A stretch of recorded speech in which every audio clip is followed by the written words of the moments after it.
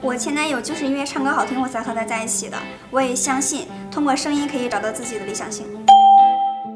Sugar, yes please, yeah you show me good loving, make it alright. Need a little sweetness in my life. 我觉得《一号男生》这个歌品还是不错的。之前我还在谈恋爱的时候，也希望自己的另一半可以唱这首歌跟我求婚，打六分吧。Oh I'm not a player，但你总不相信，想把自己变帅，只为了衬托你。Just call me。二号应该是一个那种痞帅痞帅、扎着脏辫的那种坏男孩，还蛮心动的，八分。爱我的话要回答，我只等你，等你一句话。嗯，三号呢，我没想到唱抖音神曲还能唱这么好听，然后声音也蛮低沉、蛮有磁性的，应该是一个高高壮壮的，可能会经常运动健身的人吧。这种款我还是蛮喜欢的，给九分。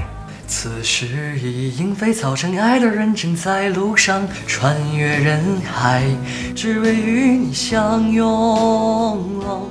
四号选这首歌，一下子把我带入到他的情绪里。想象中的他应该是一个皮肤白皙，然后高大挺拔，会戴一个眼镜的学长风男生吧。这个我给七分。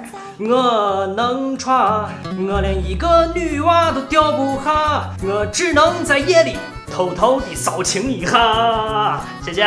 说实话，我是第一次听，由于我听不懂，有一点减分了吧，给六分。刚刚最让我心动的声音应该是唱哎呀哎呀的男生，他的声音很令我心动，也很有磁性。